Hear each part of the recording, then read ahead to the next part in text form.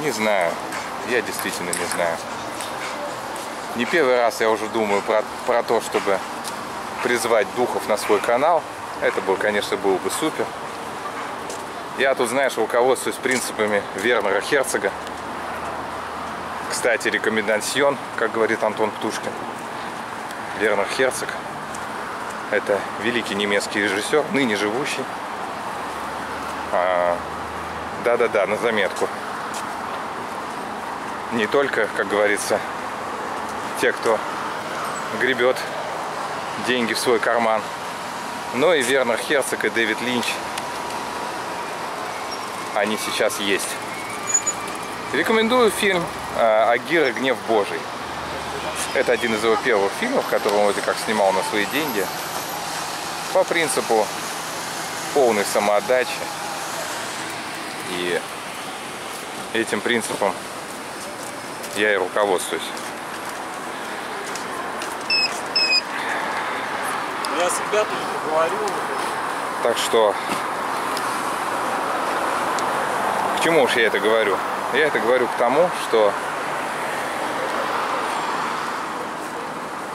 я, у меня есть определенные представления, не, вернее, не то чтобы это представление, а определенное знание, что такое YouTube, каким должен быть YouTube канал. И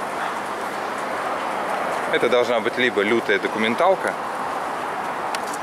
абсолютно безжалостная, то либо это э, должен быть действительно духов на канал привлечь там,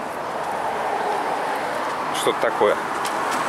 И опять же, приходит на ум, знаешь, вот роман Сомерсета Моема «Луна и грош». Это про Поля Гогена. Еще раз повторяю, что благодаря этой книге я понял искусство Поля Гогена.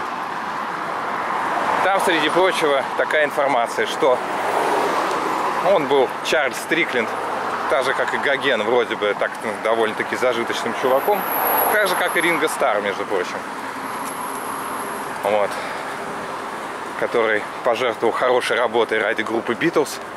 В результате сами понимаете, что случилось.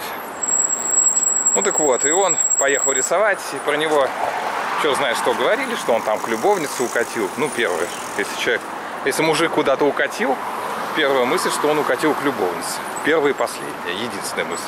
Никому в голову не, мог, не могло прийти, что он уехал рисовать картины, ну там куда-то, на Южные острова. Ну, где он всех своих девушек и плод, где он там это все рисовал.